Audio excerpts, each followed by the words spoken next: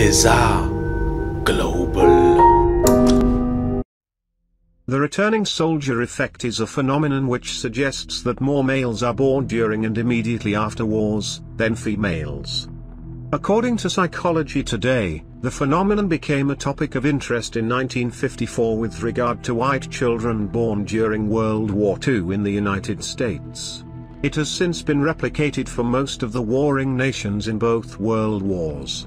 Research published in 1954 by Brian MacMahon and Thomas F. Pugh showed that the sex ratio of white births in the United States had shown a marked increase in favor of boys between 1945 and 1947, with a peak in 1946.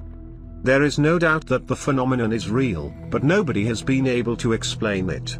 Why are soldiers who return from wars more likely to father sons than men who never engaged in combat? The phenomenon was first discussed in 1883 by Carl Düsing of the University of Jena, who suggested that it was a natural regulation of the status quo, meaning this is how the human population naturally balances itself. In 1899, an Australian physician, Arthur Davenport, hypothesized that the cause was the difference between the comparative ill health of the returning troops, compared to the good health of their female partners.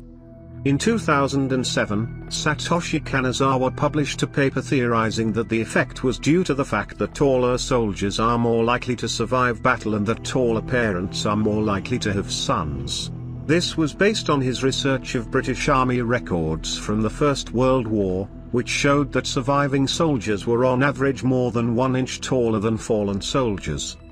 The excess boys born during and immediately after the world wars might be a consequence of the fact that taller soldiers, who are more likely to have sons to begin with, are more likely to survive the war and return home, whereas shorter soldiers, who are more likely to have daughters, are less likely to survive the war and return home to have daughters. Studies show that the taller soldiers who return from war have a 5% higher chance of having a son. Because so many men, nearly one third of those between the ages of 15 and 40 in the UK, were mobilised during World War I, the 5% increase in the odds of having a son for the taller surviving soldiers translates into millions of excess boys. It is more than sufficient to account for the entire returning soldier effect in the UK after World War I. Author Valerie Grant attributed it to changing hormone levels of women during war, as they tended to adopt more dominant roles. With their male partners not around, females would do more of the things that males would typically do for them, perhaps their diets would even change slightly.